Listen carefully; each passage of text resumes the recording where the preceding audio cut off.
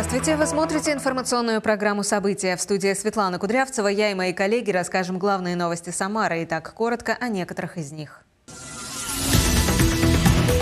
Вопросы укрепления сотрудничества и перспективы дальнейшего развития. Президент России Владимир Путин находится с рабочим визитом в Узбекистане. Интересы Самарской области представляет губернатор Дмитрий Азаров. Привести в порядок самарские газоны. Глава Самары Елена Лапушкина провела еженедельное совещание в городской администрации и дала ряд поручений. Более четырех тысяч самарских одиннадцатиклассников выпустились во взрослую жизнь. Для школьников областной столицы прозвенел последний звонок. Много музыки, подарков, зажигательных номеров, позитивного настроения. В Самаре состоялся 29-й фестиваль средств массовой информации «День прессы 2024», чем зрителей удивляла площадка телеканала «Самара ГИС». Подъем туловища из положения лежа на спине, подтягивание на высокой перекладине, прыжок в длину с места и другие упражнения. В парке Гагарина состоялся традиционный фестиваль «Готов к труду и обороне». Губернатор Самарской области Дмитрий Азаров в составе официальной делегации России принимает участие в государственном визите президента Владимира Путина в Узбекистан. Главы государства обсуждают вопросы укрепления сотрудничества, перспективы дальнейшего развития, стратегического партнерства и союзничества. Губернатор Дмитрий Азаров встретился с премьер-министром Узбекистана Абдулой Ариповым. Глава 63-го региона отметил, что Самарская область является одним из крупнейших промышленных субъектов России, входит в десятку в стране по валовому продукту по инвестиционной привлекательности. На Совете регионов обсудили сотрудничество сторон в сельском хозяйстве, промышленности и других направлениях. По итогам встречи Дмитрий Азаров подчеркнул, что визит президента России стал импульсом для сотрудничества между странами и отметил, что Самарская область, как и в предыдущий год, будет вносить свой вклад в данное взаимодействие сезонный покос травы на общественных территориях города и мониторинг цен на продовольственные товары. Эти и другие вопросы стали предметом обсуждения на еженедельном совещании в мэрии, которое провела глава города Елена Лапушкина. Подробности расскажет Галина Топилина. В Самаре с начала мая профильные службы приступили к сезонному покосу травы. Всего в городе работает 60 бригад, приводят в порядок газоны в парках, скверах, во дворах жилых домов, на территориях, прилегающих к объектам потреб рынка и вблизи соцучреждений. Особое внимание очагам произрастания аллергенных трав и наркосодержащей растительности. На сегодняшний день привели в порядок 50% от запланированных территорий. Своевременный покос травы поддерживает санитарное и эстетическое состояние городских территорий. Контролирует работу Департамент городского хозяйства и экологии. Работы по покосу будут продолжаться в течение всего теплого периода в зависимости от погодных условий и достижения предельно допустимой высоты травяного покрова 15 а, сантиметров. При необходимости работы будут продолжаться вплоть до октября месяца. На совещании в администрации главы внутригородских районов отчитались о работе на вверенных им территориях. Ежедневно для покоса травы привлекается 42 бригады, это 84 коса с применением МТЗ, триммеров и газонокосилок. В том числе по управляющим организациям привлекается 37 бригад, 74 коса, то есть все управляющие компании принимают участие.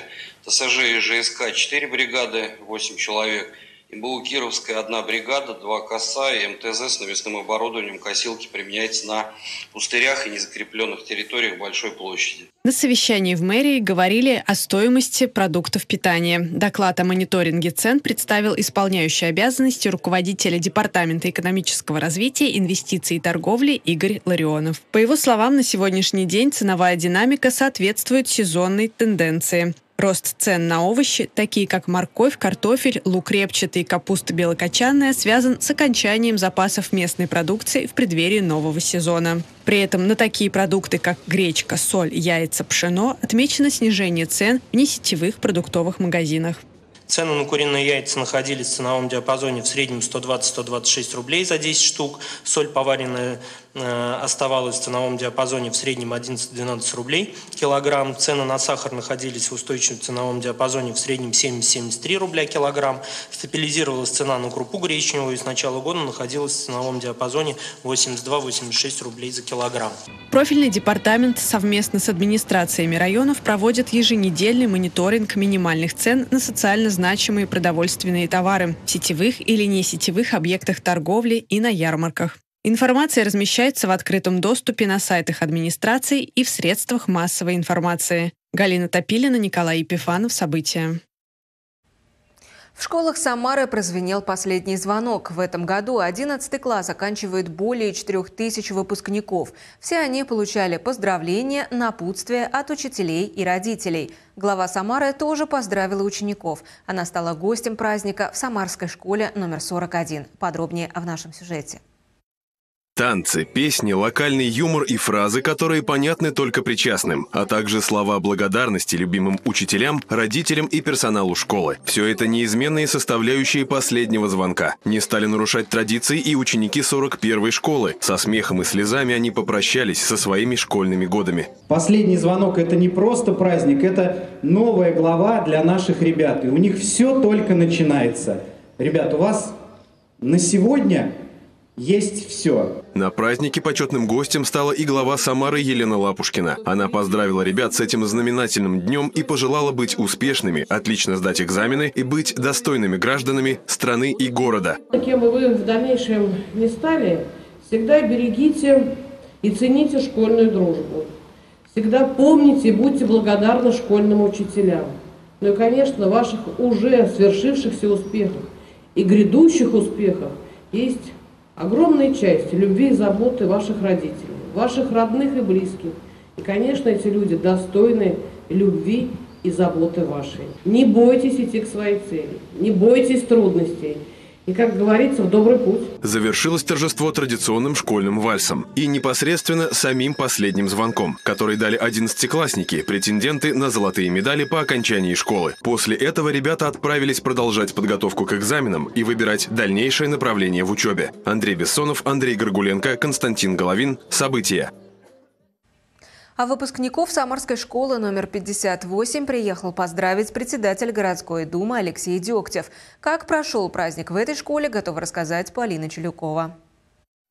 Белые бантики и фарточки, лента с надписью «Выпускник». Веселый и одновременно грустный праздник всех школьников. Последний звонок. Он прозвучал по всему городу, в том числе и для учеников школы номер 58. Все всегда, конечно, заканчивается, я это понимаю, но все равно. Чувства разные, и они переполняют меня, потому что это и радость, потому что это праздник, последний звонок, дети его ждали, но и грустно, потому что я столько в них вложила, да, вот эту вот частичку себя я в каждом в нем вижу, и понятно, что это грустно с ними расставаться. Они стали мне родными за эти года. В такой важный день поздравить выпускников пришли не только их родители и близкие, но и почетный гость, председатель городской думы Алексей Дегтев, который много лет проработал в этой школе директором. С небольшой грустью. Ну, грусть какая, что дети из гнезда э, такого большого, единого семейного, кстати, покидают. В этом году во взрослую жизнь выпустились 4527 учащихся. Полина Чулюкова, Валерий Майоров. События. В Самаре в 29-й раз прошел фестиваль прессы. По традиции в Строковском саду собрались ведущие теле, радио и печатные СМИ региона. С профессиональным праздником журналистов поздравили губернатор Дмитрий Азаров, глава города Елена Лапушкина, председатель Самарского областного отделения Союза журналистов России Ирина Цветкова. В этот раз фестиваль посвятили Году семьи. Для гостей праздника организовали конкурсы, мастер-классы и концертную программу. Репортаж с фестивальных площадок подготовили наши корреспонденты корреспонденты. Под девизом «Мы вместе» объединились представители самарских СМИ, чтобы поучаствовать в традиционном 29-м фестивале прессы. В Струковском саду в этот день открылись более 20 площадок от телеканалов, газет, журналов, радиостанций и изданий различных ведомств. Гости праздника, зрители и читатели смогли пообщаться с теми, кто каждый день пишет о событиях города и региона. Иоанн Кронштадтский сказал, если любовь каждого к России соединить вместе, мы выстоим. И вот наш девиз если «Мы вместе». Если мы будем вместе, мы обязательно выстоим. Наша Россия и мы. Собравшихся с проведением фестиваля поздравил и губернатор Самарской области Дмитрий Азаров. Глава региона вместе с главой города Еленой Лапушкиной оценили работу площадок, пообщались с представителями редакций. На торжественной церемонии открытия Дмитрий Азаров отметил, что сегодня журналистика находится на передовой всех изменений и очень чутко реагирует на них. Журналисты фиксируют успехи и достижения, обращают внимание на критику жителей и создает новые стимулы для формирования новых программ и направление развития нашего региона и, конечно же, столицы нашего региона, города Самары. Площадка телеканала «Самара ГИС» по традиции встречала гостей фестиваля у центрального входа в Строковский сад. Весь день здесь можно было насладиться выступлениями артистов и потанцевать, поучаствовать в конкурсах, мастер-классах, сфотографироваться с любимыми сказочными персонажами. Леонид с семьей попали на площадку случайно. Пройти мимо просто не смогли, признается отец семейства. Мы на самом деле шли на набережную, на пляж прогуляться. Но вот э, смотрим, рамочки стоят, мероприятие какое-то нарядное. Молодого человека потянуло. А дальше он увидел аквагрим и все. Сердце было разбито. Торжественную атмосферу всем гостям создавал оркестр Росгвардии под руководством майора Олега Чемоданова. Звучали и танцевальные мелодии, и нестареющая классика. Я рад, что мы участвуем в этом празднике. Стараемся репертуар разнообразить, как, как это возможно получается. Ну, есть всегда над чем работать. Будем продолжать это делать и радовать людей. Гостья фестиваля Галина Васильевна рассказывает, пришла сюда посмотреть на все, что сделано руками прессы. Очень понравилась музыка и атмосфера на площадке «Самара ГИС». Когда я вошла, здесь играл оркестр. И такую жизнерадостную, веселую музыку, что мне захотелось потанцевать. И я стояла и танцевала. По периметру фонтана работали площадки с мастер-классами. Гостей встречали ростовые куклы, а на сцене в это время ведущие разыгрывали призы от партнеров телеканала. В этом году ими стали торговый комплекс «Гудок», «Вода дворцовая», «Жако роллы и пицца», «Мягкий кинотеатр», «Сладкодаров», «Салон красоты «Красивая я». Конкурсы чередовались с концертными номерами. Для гостей фестиваля выступали детский музыкальный театр «Алия Драмс», ансамбль колокольного звона «Самарские звонари», Центра детского детского творчества «Младость», учащиеся Центра эстетического воспитания детей и творческие коллективы Центра внешкольной работы «Поиск».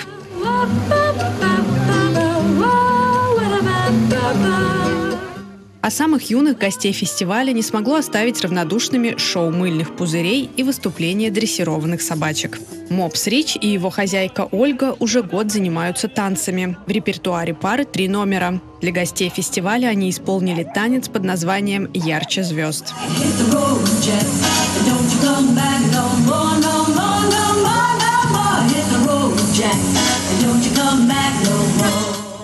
Мопс – это не самая танцующая, скажем, собака, это такая на подумать. Вот, но мы стараемся. Финальным аккордом стало выступление Николая Белоусова, полуфиналиста вокального телевизионного проекта, воспитанника Центра помощи детям единства, обладателя уникального тембра. С тобою связан навеки я, ты жизнь и счастье, любовь этот день Николай отметил свое 18-летие. Его поздравили коллеги по цеху, участники детской телестудии «Майош ТВ». Волна позитива и атмосферы сегодняшнего дня заряжает, признается Николай. Публика супер, меня порадовала публика, потому что не каждый любит такие песни. А, то поколение уже уходит, к сожалению. Но в тех песнях как раз-таки и смысл, и мелодия, и проникновенность, душа. Это главное в песне. По традиции фестиваль закончился церемонией награждения лауреатов. Диплом победителя получил и наш телеканал «Самара ГИС». Почетный приз генеральный директор Елена Кольцун получила от председателя Самарского союза журналистов Ирины Цветковой.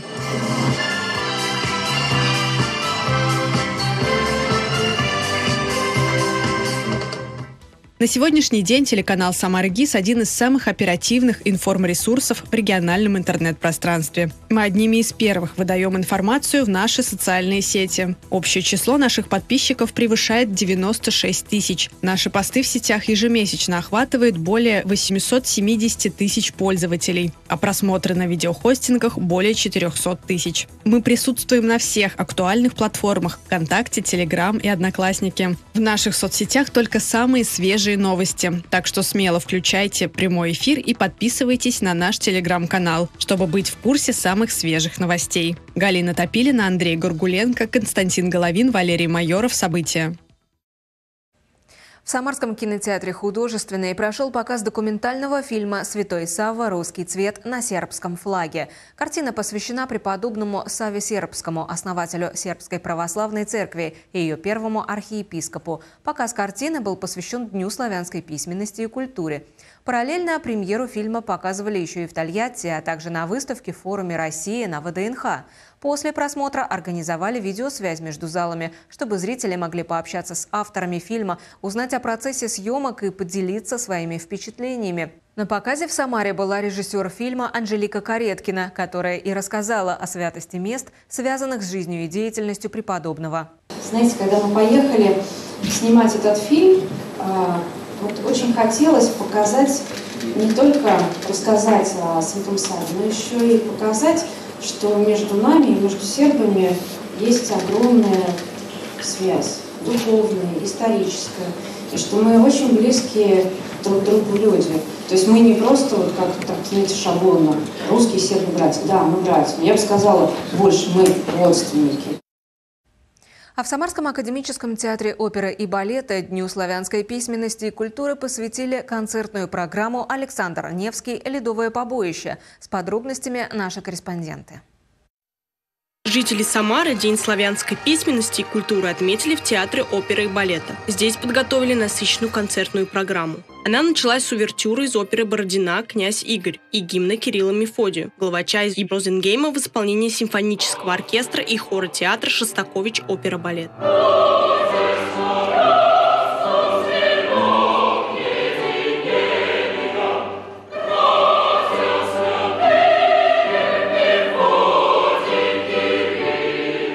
Кульминацией концерта стала кантата «Александр Невский. Ледовое побоище». Здесь соединились сразу несколько видов искусства. В основе – музыка Сергея Прокофьева из одноименного фильма Сергея Эзенштейна, снятого в 1938 году. На сцене звучали фрагменты из поэмы Константина Симонова «Ледовое побоище». А на экране при этом сменяли друг друга картины с изображением русского полководца и близких по теме исторических сюжетов. Музыка, знакомая каждому с детства, текст, наполненный яркими образами и событиями, и тематический видеоряд из произведений живописи погрузили зрителей в героический мир XIII века. Он был попом военной схватки, семь лет в ушкуйниках ходил, и новгородские порядки до самой вятки наводил. Три дня терпел унижение, поклоны бил, дары носил. Для нас это встреча с нашей молодостью, потому что мы смотрели всегда фильм Александра Невский, мы всегда любили эту музыку, мы это изучали и в школе.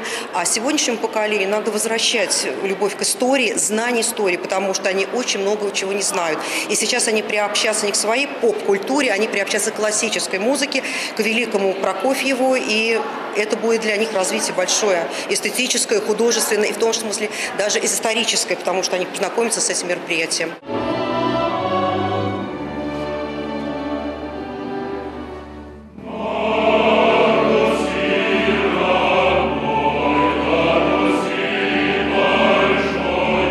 Августина Охременко, Николай Епифанов. События. В Самаре прошел фестиваль «Готов к труду и обороне». В нем приняли участие как взрослые, так и дети в возрасте от 6 лет. Как проходила сдача нормативов ГТО, расскажет Елизавета Прокопенкова. Прыжки в длину, подтягивания и отжимания.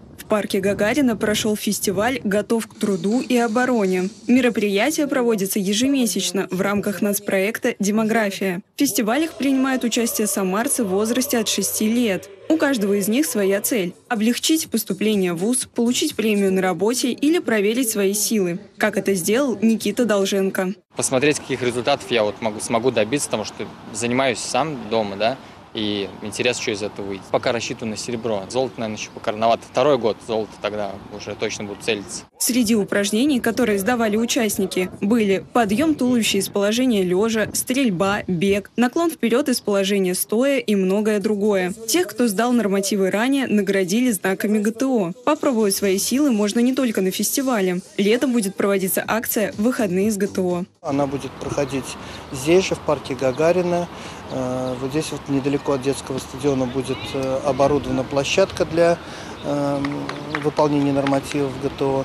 И каждые выходные любой желающий может э, испытать свои силы и принять участие выполнения нормативов для получения знака. Если результаты не устроят, их можно пересдать в течение всего года. Главное, чтобы между попытками прошло 45 дней. Даже если у кого-то не будет получаться, здесь никто никого не накажет. И наоборот, мы приветствуем тех, кто пришел, кто пересдает, э, стараемся как-то стимулировать, в том числе и словом. Вот, поэтому все приходите на выполнение норматива ГТО, мы вас ждем, вот, и надеюсь, у вас все получится. Для участия в акции или фестивале нужно заранее зарегистрироваться на официальном сайте ГТО и предоставить медицинскую справку об отсутствии противопоказаний. С начала этого года нормативы сдали более 5000 жителей Самары. Елизавета Прокопенкова, Игорь Казановский. События.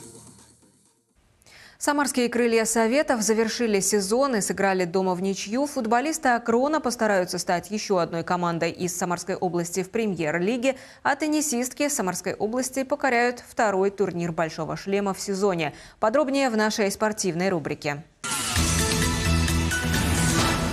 Крылья Советов завершили чемпионат России по футболу домашним матчем против Пари Нижний Новгород. Самарцы не решали турнирных задач, но хотели порадовать болельщиков. А нижегородцы пытались избежать вылета из премьер-лиги. В первом тайме голов не было, а после перерыва Горы открыл счет в матче. Удержать победу самарцы не смогли. За Турбо сравнял счет на 77-й минуте. Итог 1-1. Крылья заняли девятое место. Чемпионом шестой год подряд стал питерский «Зенит».